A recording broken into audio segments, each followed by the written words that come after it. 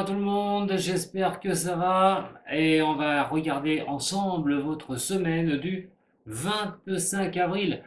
Alors avant tout, merci pour vos abonnements, merci pour vos contacts, hein, euh, vos soutiens aussi pour Dom Voyance. Si vous voulez, vous pouvez aimer hein, cette vidéo, euh, vous pouvez la partager, vous pouvez vous abonner tout bonnement. Alors, qu'est-ce qui peut se passer cette semaine du 25 avril Et oui, elle arrive et des choses vont se mettre en, mouvement. Voilà. Alors, on va commencer par Pluton. Pluton va arriver vers la fin du Capricorne. Alors, c'est vrai qu'attention, Pluton, c'est la destructrice pour la, pour la régénération. Euh, mais de croire qu'elle va s'en aller, eh ben non. Eh ben non, puisqu'elle va prendre une marche rétrograde elle arrive à la fin du signe Capricorne, mais elle va reculer, enfin, elle va pas reculer, c'est l'effet de vision qu'on a. En fait, elle va euh, dans le ciel, on appelle ça une, rétrogradation. Alors la rétrogradation, c'est simplement qu'elle est moins puissante. Elle va peut-être moins déranger le Capricorne, qui depuis un moment n'arrête euh, arrête pas d'essayer de soit d'annuler des choses, détruire certaines choses pour pouvoir avancer, euh, se mettre en question, qu'est-ce que c'est bon de garder près de soi, ou ce que je dois achever pour repartir sur quelque chose. Et donc là, on va se retrouver, euh, ça va être à peu près euh, fin de semaine, hein, ça va être samedi que ça va se passer. Donc rétrogradation jusqu'au mois d'octobre. Voilà. Donc elle sera moins puissante, elle dérangera moins. Le Capricorne, c'est aussi le financier c'est aussi tout ce qui représente le financier. Et là, bah, peut-être hein, euh, au niveau je sais pas, mondial, au niveau des finances, ça nous foutra un petit peu la paix. Ça va foutre la paix aussi au Capricorne d'ailleurs, hein, au niveau de, de, sa restructuration, de régénérer les choses. Il sentira moins cette lourdeur de, de cette planète. Alors ça, c'était déjà un petit truc que j'avais à vous dire. Deuxième chose, le Soleil. Et on va y venir, puisque l'astre solaire va se retrouver dans les signes des taureaux.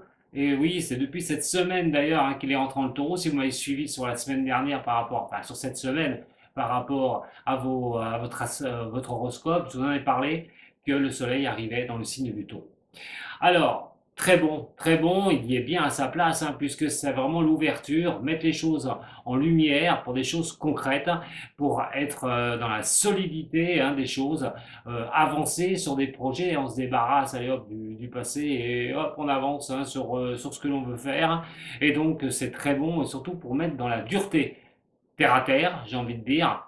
Et oui, le taureau un signe de terre, donc c'est les choses qui doivent être ancrées, les choses qui doivent être vraiment posé cette fois-ci. Il y a pas le taureau qui va en profiter, hein.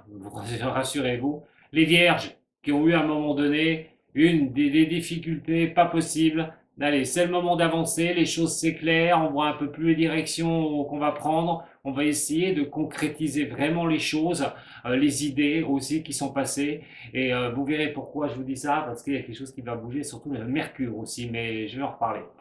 Et donc, euh, le Capricorne, on revient à lui, le cancer et les poissons, entre autres. Il va falloir pour vous voir les choses dans le positif.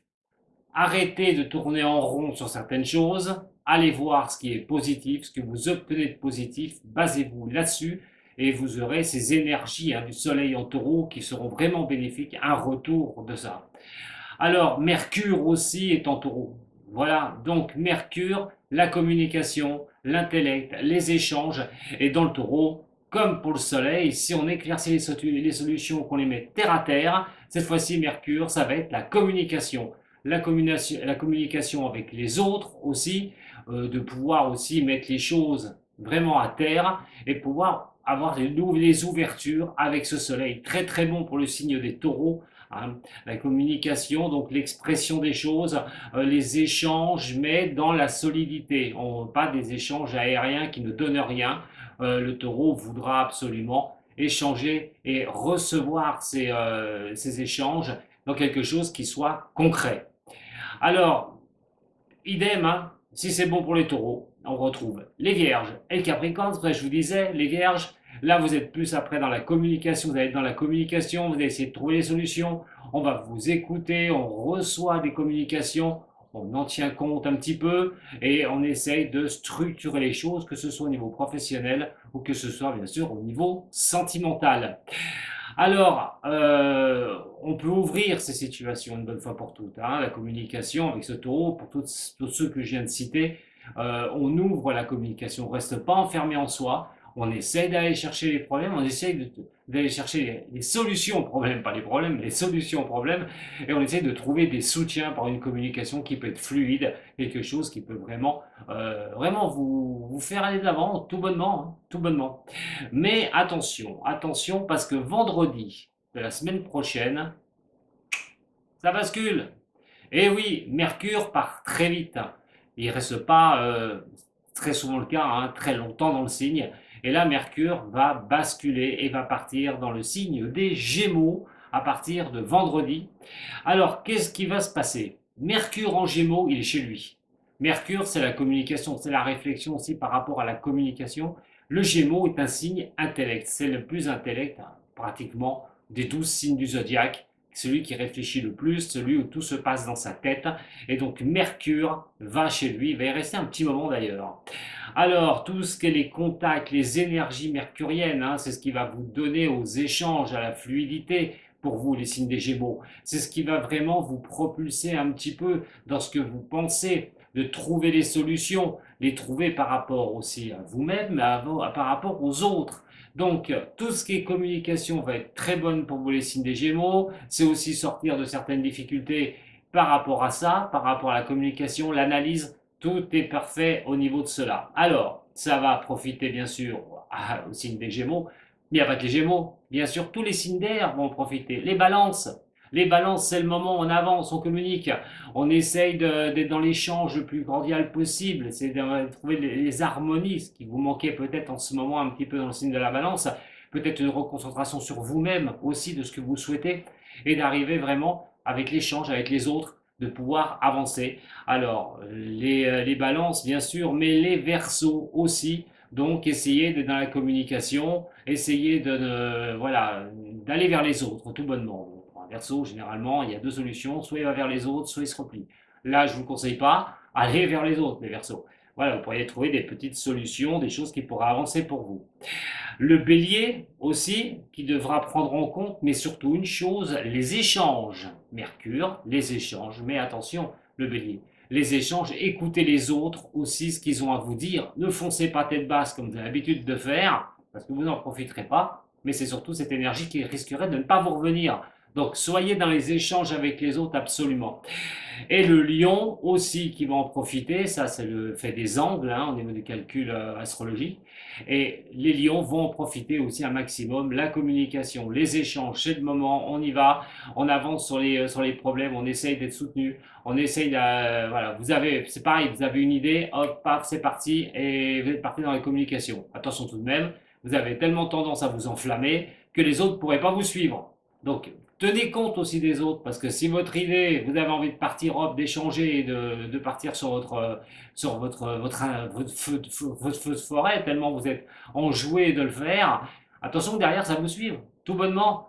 Alors, on calme un peu, on essaye aussi d'écouter les autres, on essaye d'être dans l'échange et de ne pas vous dire, ça y est, j'ai une bonne idée, hop, j'y vais et, euh, je fonce. Voilà, tout bonnement. Mais c'est très bon pour vous, euh, les, euh, cette possibilité-là avec vous, les lions, euh, vous allez quand même arriver à, avancer. Vous aurez plus de compréhension des choses à condition, hein, on lève le pied un peu, hein. sur la vitesse aussi, vous allez exécuter les choses derrière.